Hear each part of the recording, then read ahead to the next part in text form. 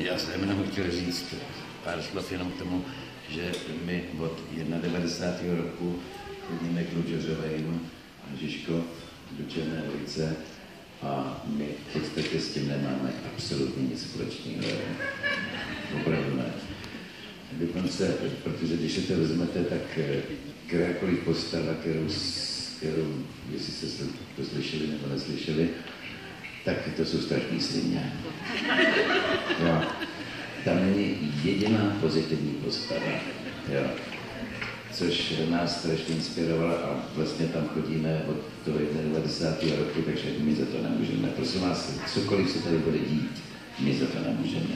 Jo. Tak jenom vy byste byli trpěliví a možná, že třeba tohle to celý spadne. Možná, že budeme volat hu, hu, hu, hu, osvobození rozhlasu. A tak. No tak se hezky nebavte. Tak.